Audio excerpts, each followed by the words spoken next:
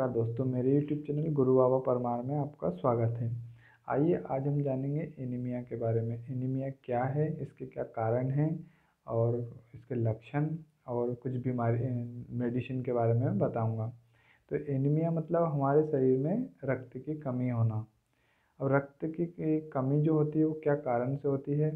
तो पहले तो मैं बताऊँगा आपको कि रक्त कैसे बनता है हमारे शरीर में। तो हमारे शरीर में जो रक्त बनता है, वो तीन सेल से बनता है। W B C R B C और प्लेटलेट जो आर बी सी ही हीमोग्लोबिन का निर्माण होता है। और हीमोग्लोबिन का निर्माण आर बी सी करती है। अब आर बी सी बनाने का काम आयरन करता है तो जो मेन ब्लड का प्रोडक्शन है वो आयरन करता है।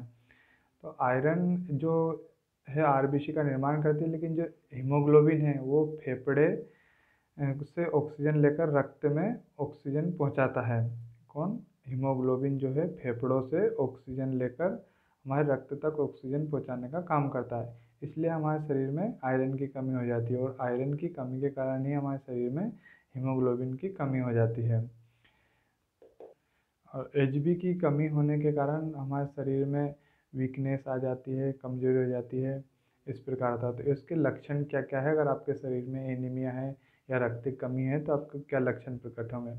जैसे चक्कर आना, थकान होना, त्वचा के नीचे पीला पड़ना, आँखों के नीचे झुर्रियाँ पड़ जाना या डार्क सर्कल हो जाना, हथेलियाँ को ठंडा पड़ना, शरीर का तापमान बढ़ जाना, ये सब इसके लक्षण हैं।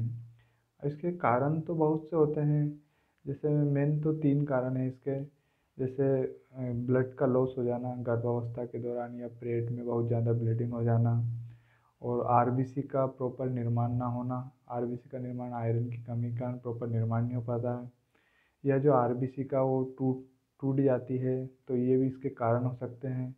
या पाइल्स में ब्लीडिंग बहुत ज़्यादा हो जाती है इंटेस्टाइन में अल्सर हो जाते हैं, ये इसके कारण हैं एनीमिया के।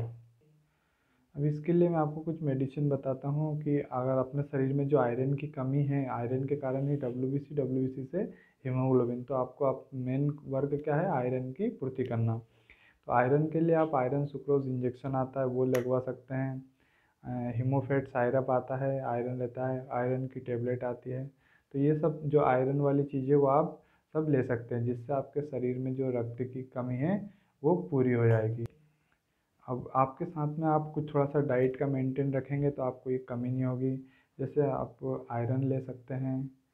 आयरन के लिए आप पालक खाइए खूब, चुकंदर लीजिए अनार लीजिए और थोड़ा सा गुड़ भी ले सकते हैं आप। ये सारी चीज़ के अगर आपके खाने डाइट में मेंटेन रखेंगे प्रॉपरली तो आपके शरीर में कभी खून की कमी नहीं होगी।